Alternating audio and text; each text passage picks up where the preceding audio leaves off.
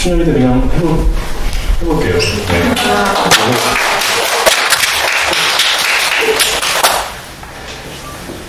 이것도 뭐 코러스 있고 그런데 블레이, 블레이트 러브라고 어, 사랑이 믹스됐지만 꼭 찾아보시기 바라는 아, 너무 제가 간단하게 여기나 네. 그런 내용의 음, 가사고 저는 그 연준 씨가 되게 스윙 리듬의 그런 곡들 많이 하시잖아요. 저도 이제 그런 곡들 좋아해서 어, 즐겨 듣고 또 집에서 많이 흉내내 보기도 하는데 항상 드는 생각이 아니, 이렇게 즐거운 음악을 할 걸 왜 나는 왜 다른 음악을 하고 있지? 아니요 살면서 이제 즐거운 것만 있는 건 아니지만 이 기본적으로 되게 밝은 느낌이 있어서 음, 하는 곡인데 항상 솔로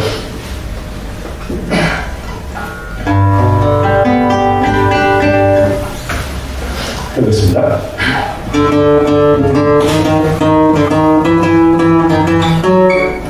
이렇게 쉽게 포기하지 마요. 당신은 찾을 거예요. 봄이 오듯 당신을 안아줄 사람을 그때가 올 때까지 향수는 잠시 거둬둬요. 다들 그렇게 말하잖아요.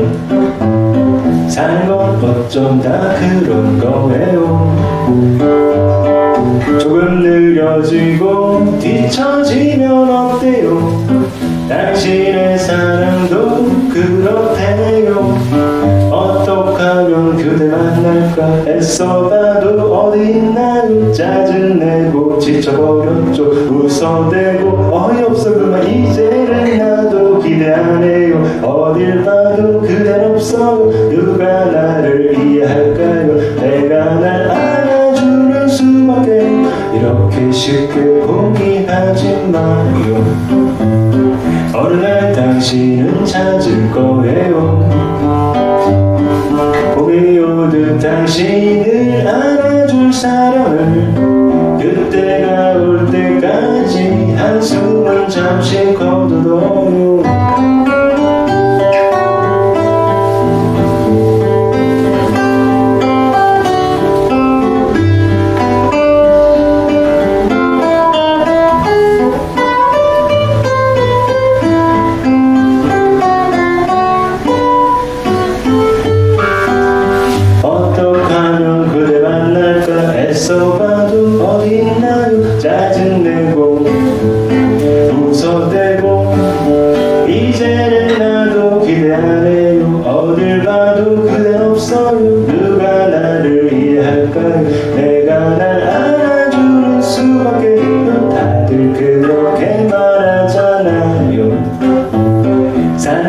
어쩜 다 그런 거예요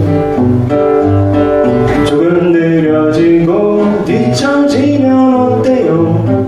당신의 사랑도 그렇대요. 그러니 조금만 견뎌봐요.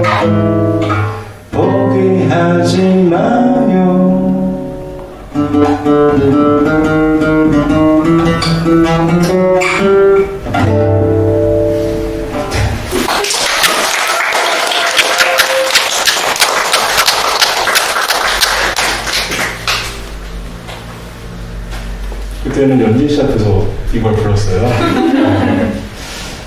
이 극한 직업까지는 아니지만 싱어송라이터도 쉽지 않은 것 같아요.